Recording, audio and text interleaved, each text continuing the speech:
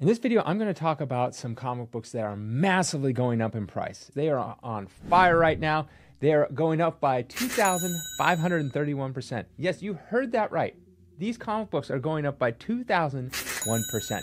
That is a ton. But to really understand why these comic books are going up, we have to understand the person behind these comics. So I ask you, what is Hello Kitty, Indiana Jones, Michael Jackson, a failed comic book shop, and a place that I personally used to party throughout my 20s all have in common?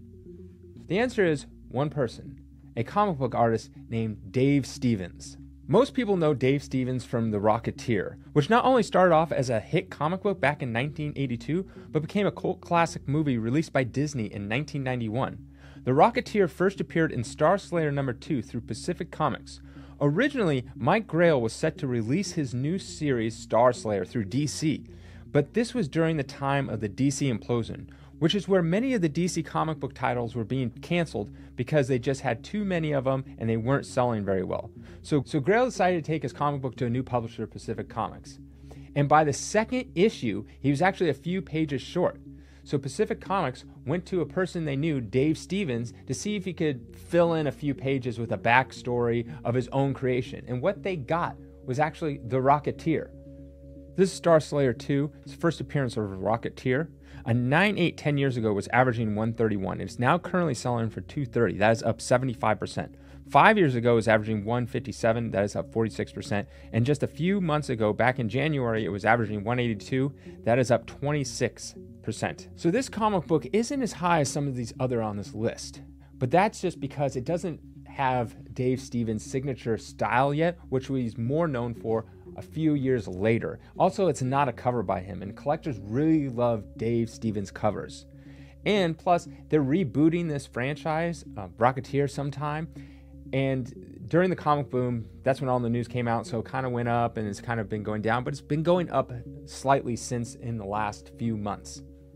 So let's learn a little bit about Dave Stevens. He was born in 1955 in Lynwood, California. His family moved to San Diego, California when he was still in high school. Although Stevens was a completely self taught artist, he figured he could use some improvement, so he attended San Diego City College for two years and took some art classes.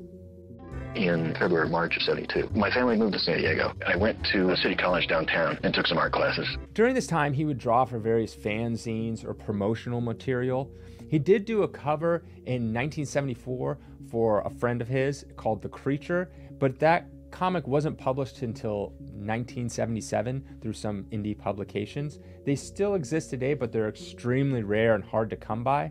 However, one did recently sell in a 9.6 for about $700. He would often go to San Diego Comic Con in its early years, where he would show other artists his work, hoping to get a job. And in 1975, he caught the eye of one man, Russ Manning, who took him as an assistant to work on the Tarzan Weekly newspaper strips, where he was the inker. Later, he also worked on the Star Wars newspaper strip as well. After about two years of doing the strips, he said he was burnt out and needed something different. He just really didn't like the deadlines and having to meet him all the time, which is something that will show up later in his career. So he moved to LA where he got a job at Hanna-Barbera drawing storyboards for their animation studio. He even got to work on storyboards for Indiana Jones Raiders of the Lost Ark and Michael Jackson's music video Thriller. During his time as a storyboard artist, he really didn't want to go back into comics, but he said he would help out any friends that needed help meeting deadlines. One of these times, he helped out a friend who was working on the Marvel Comics Star Wars. So many people don't know this, but actually, Dave Stevens' first work at Marvel was Star Wars number six. The person that was drawing it needed help and he's fallen behind, and so Dave Stevens, as uncredited, inked some of the stories in there. So Star Wars 6 in a 9.8 10 years ago was averaging about 229. It now currently sells for 539, so that's up 135%. And then five years ago, it dipped down a little bit. It was averaging about 166. And that is up 225% now. And then back, this doesn't sell that often, but on average in 2022, it was averaging about 524, now selling for 539, so it's about 3%. Expect once people realize that this is Dave Stevens' like first official work at Marvel, this comic book will start going up even more. Um, but most people still are clinging to his iconic covers, and that's what people want. So this is just the beginning. So the thing with Dave Stevens, he was notoriously known to be very slow and meticulous as an artist. He wanted everything to be perfect. This is one of the reasons why he got burnt out doing comic books when he was on the Tarzan Weekly and didn't have much desire to go back into comics. Dave was the slowest guy in the building. An artist would go, God, I'm tired. I did 80 scenes yesterday. And somebody else would say, Oh, I did 60. And Dave would say, I did five. So this next part is pretty funny. So this is where Hello Kitty comes into play. And it's just the sheer hubris of this company. So Hello Kitty is owned by a company called Sanrio. And Sanrio was doing pretty well in Japan. But they decided that they wanted to come and compete in America comic books and animation. They wanted to move them out of the way. They even had a press conference about how they were going to come here to America and then take over American comic books and animation. And so it's just, they're going to go against Marvel and DC and Walt Disney. Yeah, Right. And so, how are they going to do this? Well, first, they were going to release an animation called Metamorphosis, which was a Fantasia style animated movie into American theaters, and also release their 100 page high quality comic book that would consist of multiple artists, each telling different stories. This was to be called Lyrica, and Dave Stevens was enlisted to do a story in this book, which he called Aurora. But here's the funny part the book was never released. Why? Because Dave Stevens was super slow at it, and by the time he actually finished it, the company already went belly up. This was largely in part to the fact that their animation, Metamorphosis, completely bombed right after their premiere in 1978.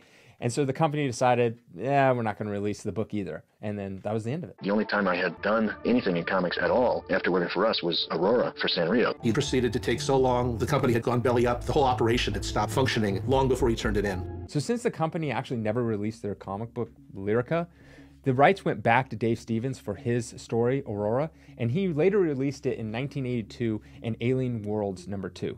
So this cover was actually by Dave Stevens. And about 10 years ago, a 9.8 was selling for $85 on average. Now it currently sells for 240. That is up 182%. And five years ago, it was selling for about $86, about the same, up 179%. And just recently, it was selling on average $150. That is up 60%. As you can see, Dave Stevens covers are kind of going up in value. But this wasn't really his first cover ever done. I mean, other than that fanzine creature number one, his first cover was actually on Pacific Comics for The Rocketeer. But this is kind of where the story gets a little interesting. So, in order to talk about The Rocketeer and Dave Stevens, we kind of have to talk about Pacific Comics. Now, Pacific Comics was a little interesting. It was originally started in, in 1971 as a mail order catalog where you can send off and get, you know, some comics through the mail. And this was started by Bill and Steve Schanes. And they were actually 13 and 17 when they started this.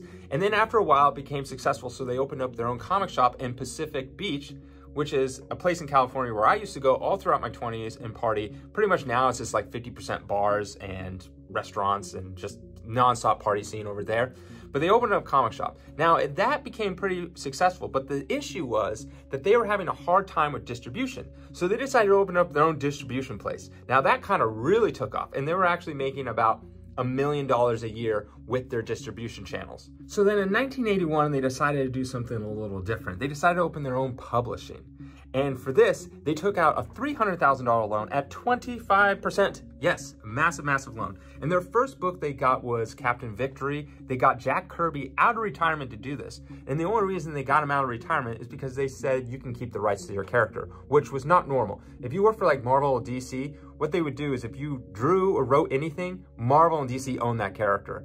And so they're kind of like Image before Image existed. And so their next comic book was Star Slayer and Mike Grell came over, but he was short on issue two and three, and they needed a few more pages. So they asked Dave Stevens. And the reason why they knew Dave Stevens is because Dave Stevens used to go to that very comic shop all the time for years and years and years. And so they ran into him at San Diego Comic Con, just had a casual conversation, like, hey, how's it going? And it was like, would you mind doing a couple, like a backstory, your own story, your own character? You get to keep the rights. And because he got to keep the rights to his own character, he's like, sure, I'll do it. And so that's how you got the Rocketeer. Now, what ended up happening to the brothers was they got in way too much debt. They were printing about 500,000 comic books a month and making about 3.5 million. So you think that would be a lot. But what was happening was all those comic stores that they would, you know, distribute to, they weren't paying them. So they wouldn't collect on their debts. They ended up having about $740,000 in debt just a few years later after opening their publishing company and they couldn't really get it together. They didn't have the business expertise to kind of like sell the business, so they just filed for bankruptcy and that was that. Now back to Dave Stevens. Pacific Comics found out that whenever the Rocketeer was in one of their issues of Star Slayer, it sold about 80,000 copies. So they really wanted Dave to come and do like a full time Rocketeer. But Dave Stevens was a little bit hesitant because he felt like maybe this might be short lived. So he didn't really want to give up his day job and do a full commitment to this comic book.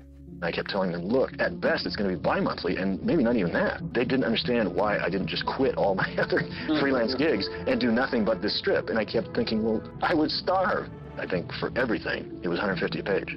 So that's why they decided to put him in his own comic book, Pacific Presents, which was going to be a bunch of different stories by a bunch of different artists. But by the third issue, he had once again slowed down and couldn't make the deadline. Also, he felt that Pacific Comics' new character Cliffhanger was just a ripoff of The Rocketeer, which made him even more motivated to just kind of distance himself from Pacific Comics. He was set to finish his story in Pacific Presents number 3, but due to delays, it was pushed to issue 5, which never came out.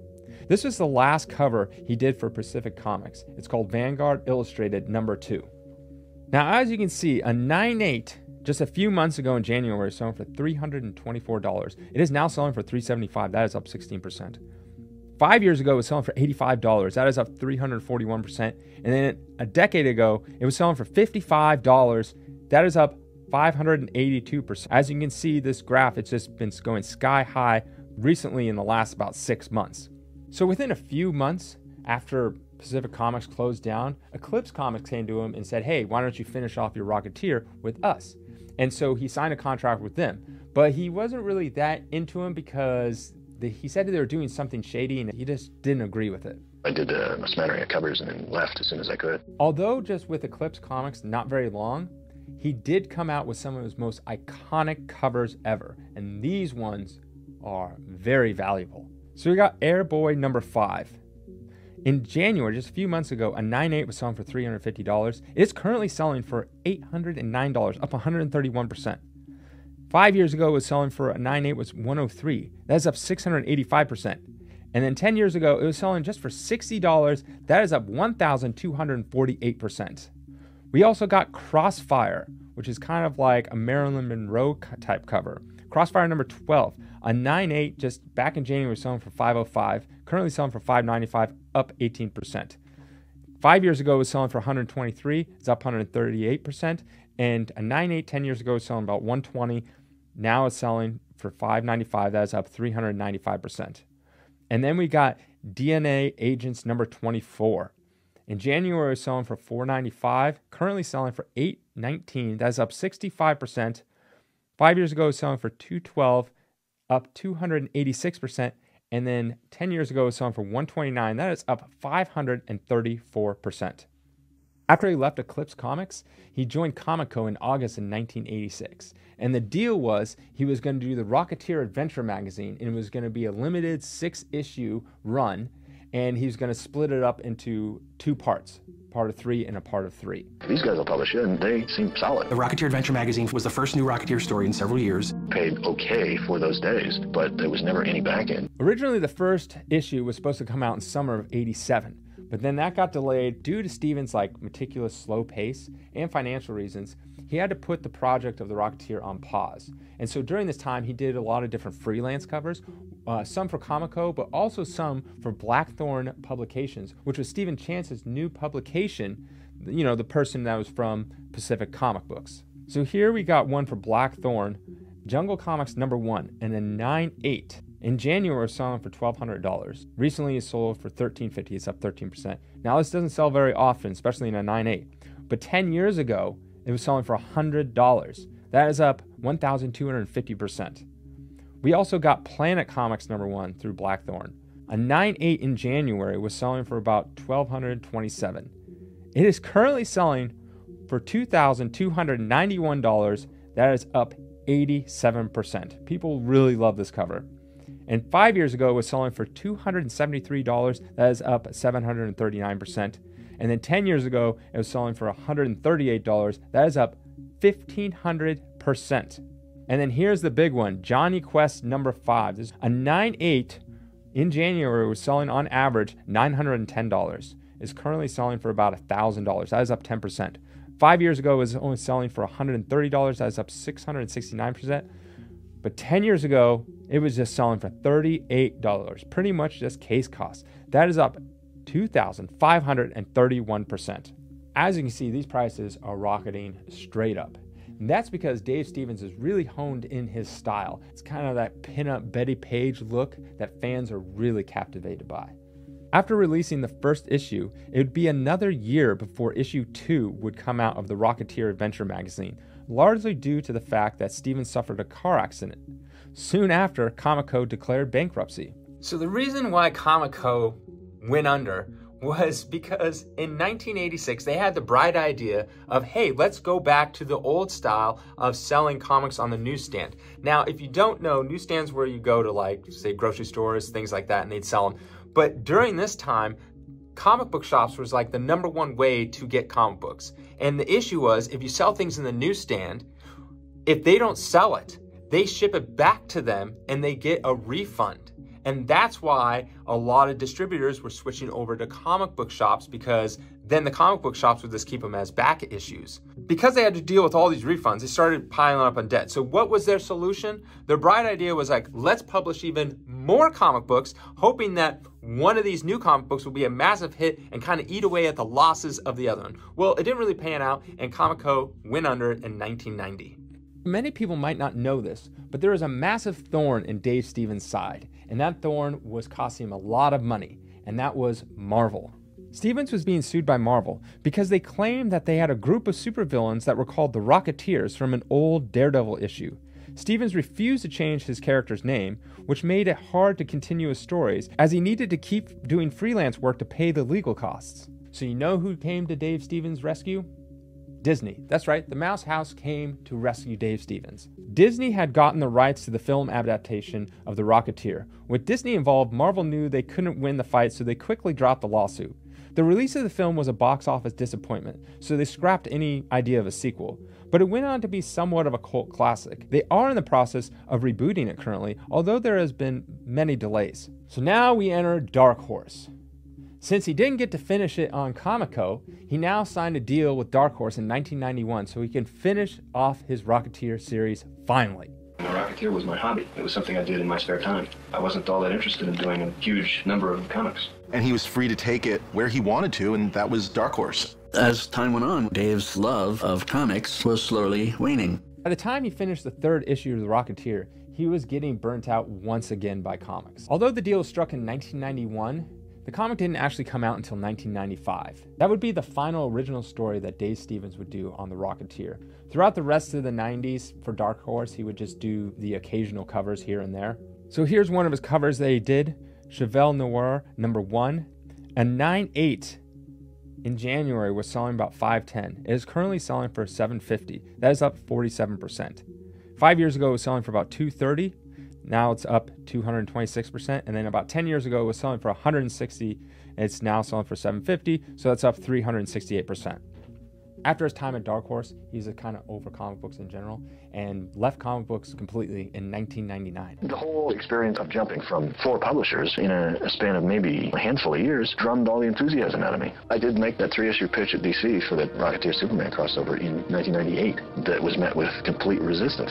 So once he was done with comic books, what did he decide to do? He decided to go back to school and he got really into painting and really just wanted to hone his skills and just be a better artist in general. So I got so dissatisfied with everything I was doing from 92 on until about 99. If I can't bear to draw comic books anymore, maybe I can set this being a painter on fire. Just as he started to feel really good about art again because he started painting and it was like a new medium for him, he got some really terrible news. He called me, my wife was in the room. She saw me burst into tears. After further tests and things, they determined that it was hairy cell leukemia. Just a very rare blood cancer that attacks the marrow, basically, in the bones. Even though he was terribly sick, he would still love going to Comic Con. Partly that had to do with financial reasons, but he just loved Comic Con and he would try really hard just to get it together so he could be in front of his fans and you know, he loved that.